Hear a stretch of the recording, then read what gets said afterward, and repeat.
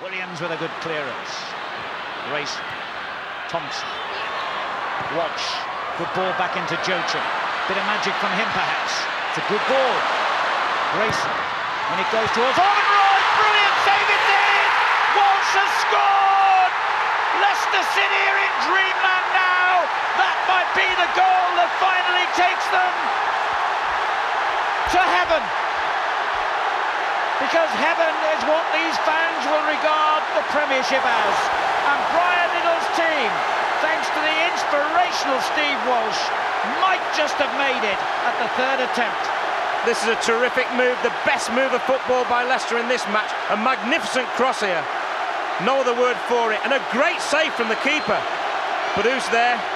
It's the centre half turn centre forward Walsh. And that that that's football. Derby have had their chance, Leicester have had theirs. The difference is Leicester have taken it, and unfortunately Derby didn't, and that could be it.